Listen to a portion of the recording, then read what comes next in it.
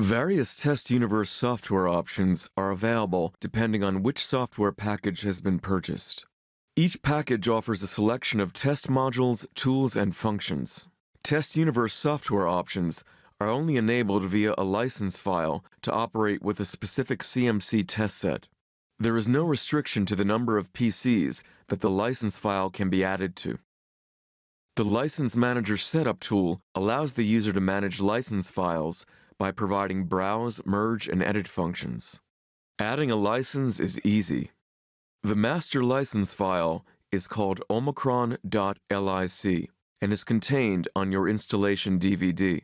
It is automatically stored on your PC's hard drive during software installation. This license file permits users to access test software that has been purchased for the CMC test set.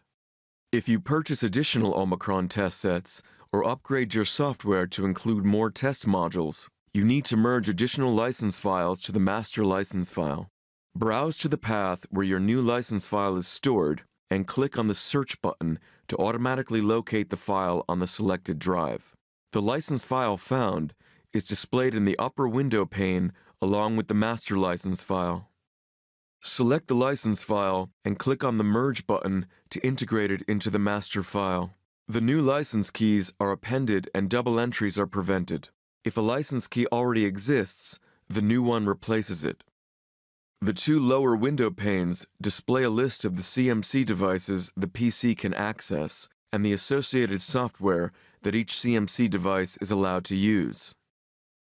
The displayed data can be sorted to show the data in ascending order by device type, serial numbers, or module names.